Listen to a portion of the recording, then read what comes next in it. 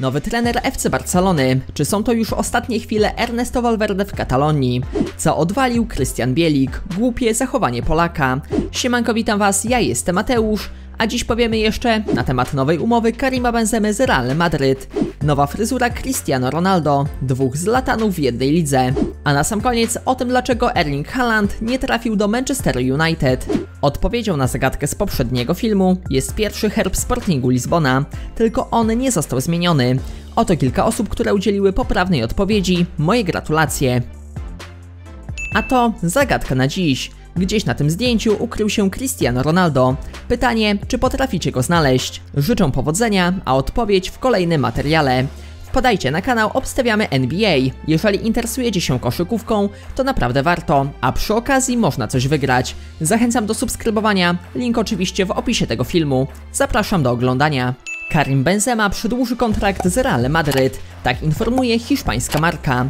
Florentino Perez złożył mu propozycję przedłużenia umowy już jakiś czas temu. Francuz jednak nie zdecydował się od razu jej podpisać. Miał się obawiać, że w kolejnych latach nie będzie już podstawowym napastnikiem Realu Madryt. Jednak po przemyśleniu zdecydował się podpisać nową umowę. Ona jeszcze nie została zawarta, ale to ma się stać po zakończeniu tego sezonu. Jak informują hiszpańskie media, Ernesto Valverde otrzymał ultimatum.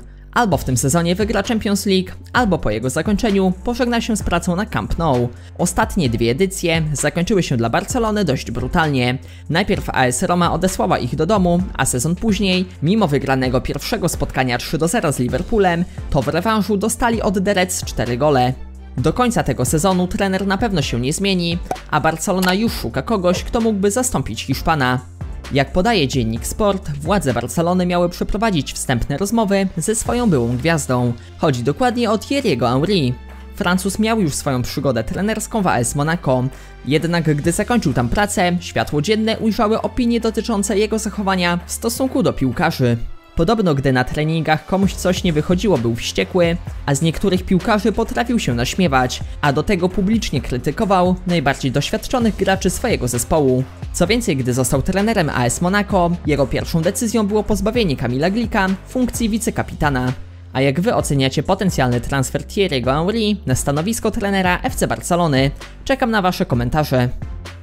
Wczoraj Derby County zmierzyło się z Charlton. Spotkanie zakończyło się wynikiem 2 do 1, a od pierwszej minuty w ekipie gospodarzy wystąpił Krystian Bielik. Niestety szybko zakończył swój udział w tym meczu. Polak brutalnie sfaulował rywala i to w sytuacji, która w ogóle tego nie wymagała. Był spóźniony i bezpardonowo wjechał w nogi przeciwnika. Zobaczcie sami.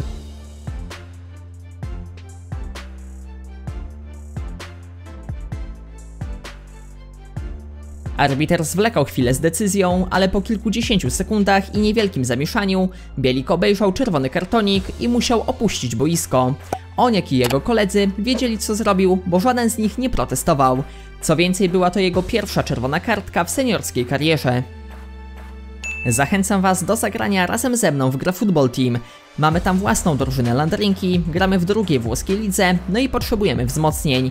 Jeżeli macie coś około 130 overalla, zapraszamy do nas. W opisie tego filmu macie link do rejestracji, a jeżeli z niego skorzystacie, dostaniecie 200 energii na start, dzięki czemu szybciej rozwiniecie swojego piłkarza. Zbliża się nowy rok, a tym samym nowy Cristiano Ronaldo. Portugalczyk zaprezentował światu swoją nową fryzurę. Tym razem coś na styl Zlatana Ibrahimowicza czy Gareta Bale'a. A być może tym samym chce pokazać, że w Serie A nie będzie tylko jeden Zlatan Ibrahimowicz. Jego nowe uczesanie zobaczyliśmy już podczas gali Globe Soccer Awards w Dubaju. A jak wam się podoba jego nowa fryzura? Ja tak w skali od 1 do 10 daję mocną siódemkę, a wy?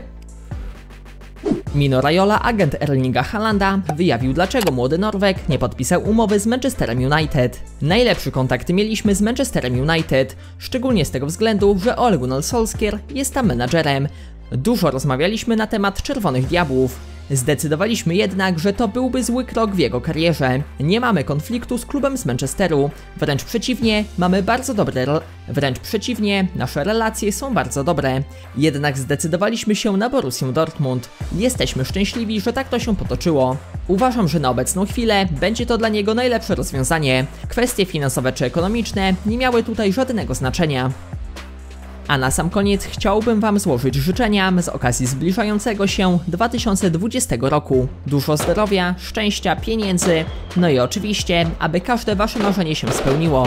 A sobie, jak i Wam życzę tego, abyśmy przez cały 2020 rok mogli spotykać się na tym kanale.